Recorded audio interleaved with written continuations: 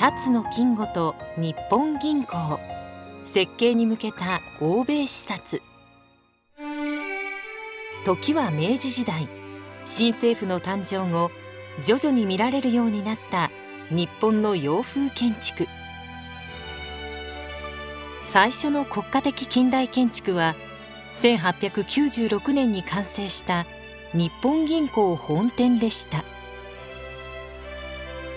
1870年代日本でも次々と西洋建築が建てられましたがこれらの設計は政府が招いたお雇い外国人の手によるものでした。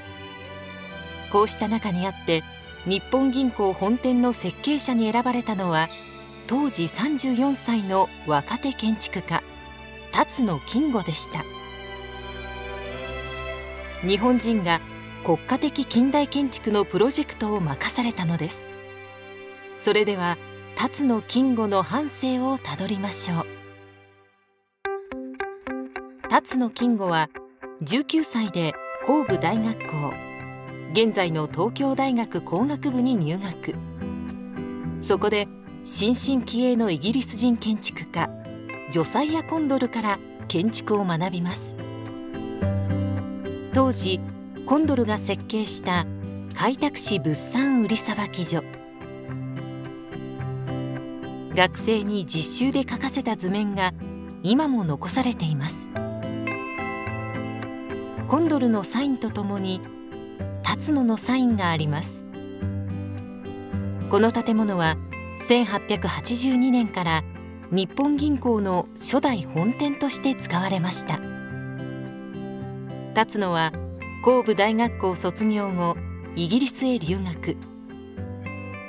帰国後は神戸大学校の教授を務めながら帝国大学工科大学本館や渋沢栄一邸などを手掛け建築家としての実績を築いていきます。そして1888年日本銀行本店の設計者に選ばれます。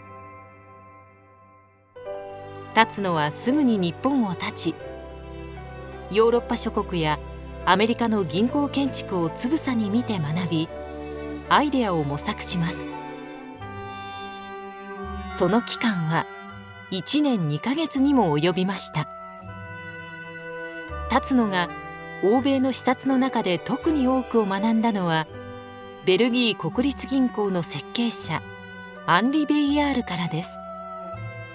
立つのはベイヤールの事務所に3週間滞在しその後日本銀行本店設計の原案を見せて相談したといいます。1889年辰野がロンドンから家族に宛てた年賀状です。当時ロンドンで流行していたのが赤レンガ造りの建築でした。辰野は後に設計した日本銀行京都支店や東京駅に代表されるように辰野式と呼ばれる白い石を組み合わせた赤レンガ造りの建物を多く残しています。